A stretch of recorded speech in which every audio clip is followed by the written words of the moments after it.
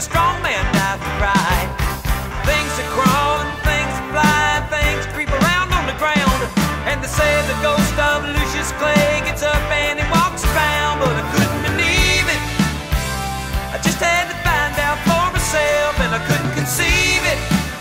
Cause I never would listen to nobody else, and I couldn't believe it. I just had to find out for myself. There's some things in this world you just can't explain. Lived in the Wooley swamp way back in Booger Woods.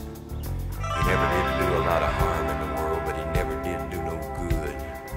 People didn't think too much of him, they all thought he acted funny.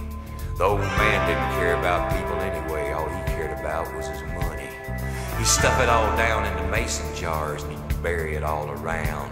And on certain nights, if the moon was right, he'd dig it up out of the ground. He'd pour it all out on the floor of his shack his fingers through it.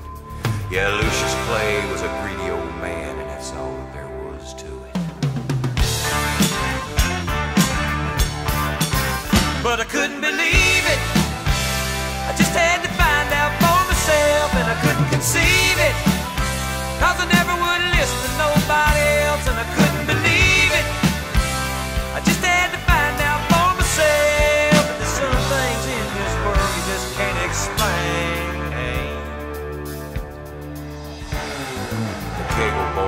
White trash who lived over on Carver's Creek. They were mean as a snake and sneaky as a cat and belligerent when they'd speak. One night the oldest brother said, Y'all meet me in the Wooley swamp later, and we'll take old Lucius's money and we'll feed him to the alligators. They found the old man out in the back with a shovel in his hand. Thirteen rusty mason jars he just dug up out of the sand. And they all went crazy and they beat the old man and they picked him up off of the ground and threw him in the swamp and stood there and laughed as the black water sucked him down. Then they turned around and went back to the shack picked up the money and ran. They hadn't gone nowhere when they realized they were running in quicksand. And they struggled and they screamed, but they couldn't get away. And just before they went under, they could hear that old man laughing in a voice as loud as thunder. That's been by there yet. There's a spot in the yard in the back of that shack where the ground is always wet, and on certain